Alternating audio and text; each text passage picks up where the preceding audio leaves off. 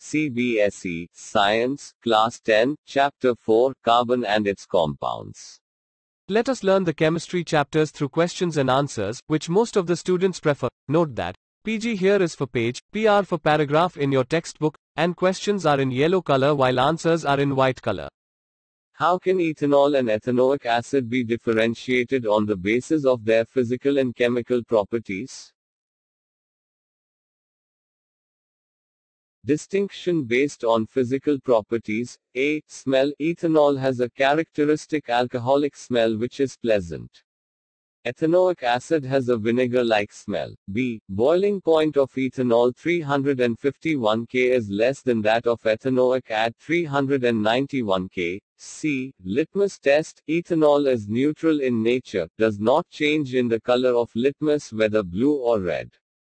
Ethanoic acid is acidic. Now, distinction based on chemical properties. A. Action with sodium hydrogen carbonate. On adding a small amount of sodium hydrogen carbonate to ethanoic acid, carbon dioxide gas is evolved with brisk effervescence. However, no such reaction is noticed in case of ethanol. B. Action with caustic alkali. Ethanoic acid reacts with both sodium hydroxide NaOH and potassium hydroxide KOH to form corresponding salt and water. Ethanol fails to react with either of these. Why does micellar formation take place when soap is added to water? Will a micellar be formed in other solvents such as ethanol also? Soap may be represented by the formula RCOONA, where R is an alkyl group which represents a long chain of carbon with 15 or more atoms. Now, oil drops containing dirt particles and water do not mix. Soap helps in their mixing by reducing interfacial tension or friction. Actually it forms a sort of bridge between oil drops and water in which the alkyl portion, hydrophobic end, points towards oil drop while other portion COONA, hydrophilic end, is directed towards water. This is known as micelle formation. Thus, soap helps in the formation of a stable emulsion between oil and water. Ethanol and other similar solvents which are of organic nature do not help in micelle formation because soap is soluble in them.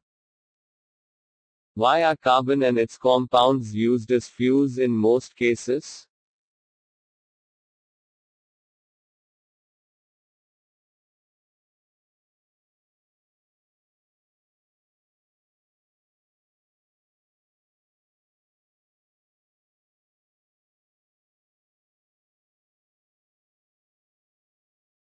Carbon burns in oxygen to form carbon dioxide gas.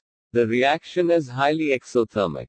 That is why different forms of coal are used as fuels. The most important compounds of carbon are hydrocarbons. Just like carbon, hydrogen also readily burns in oxygen or air to form water and heat. The hydrocarbon methane CH4 is the major constituent of natural gas propane C3H8 and butane C4H10 are present in liquid petroleum gas LPG. Petrol and kerosene also contain different hydrocarbons. Therefore, these are used as fuels. Explain the formation of scum when hard water is treated with soap. Soap is basically sodium or potassium salts of higher fatty acids. Hard water contains Ca2 plus and Mg2 plus ions as their salts. When soap is added to hard water, the corresponding calcium and magnesium salts are formed. These are in the form of precipitates, also called scum.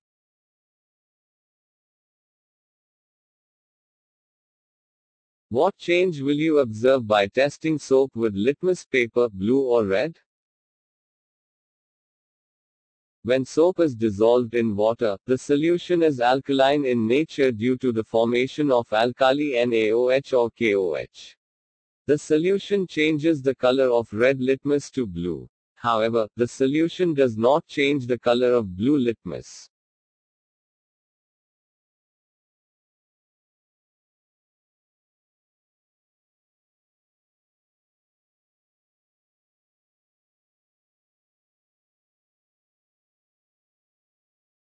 What is hydrogenation? What is its industrial application?